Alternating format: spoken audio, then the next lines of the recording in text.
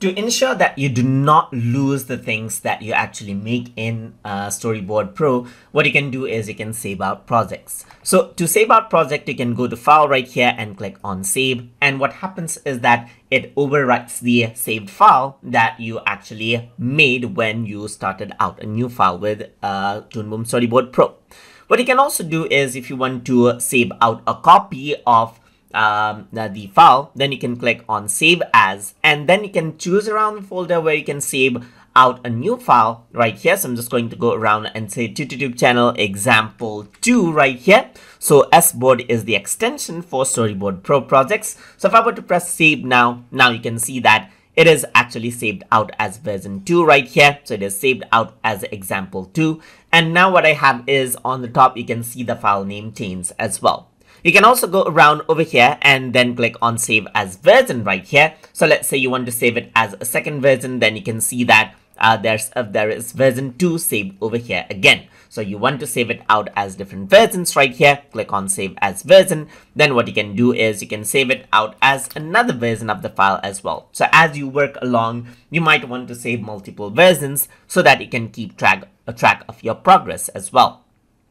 So apart from that, uh, if you want to save it as a backup, let's say for example, then what you can do is you can go around and click on backup storyboard right here. So once you do that, what happens is that it saves this out as a backup file, as you can see right here. So whatever you're actually doing, it um, it is actually saving out to the original file itself that you have right here. It is not being saved out to the backup. So if you want to restore out the backup, you can go to file right here and then you can click on restore and open backup. So you can go around and disregard this and choose a backup right here and click on open. And what happens is that you can go around, select out a folder where you want to actually overwrite the backup with, and then you can see the restored version right here, just like this.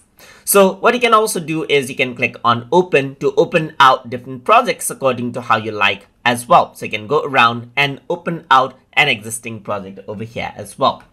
So uh, if you have to actually save out constantly and you do not want to remember uh, that you need to save out things so that you don't lose your project, you can also enable out something called autosave.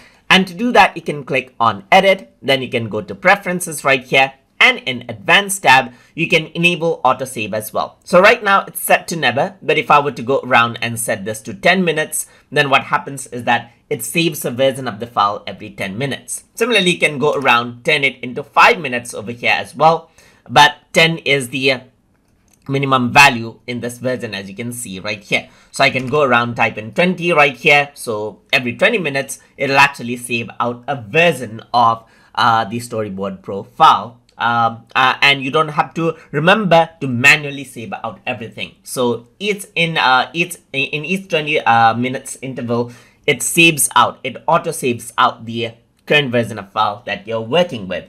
And that is how you can save project and utilize autosave and use the backup option and open out files and open out backup inside of Toon Boom Storyboard Pro. So hope you guys learned something as always. And as always, please like, comment, share, and subscribe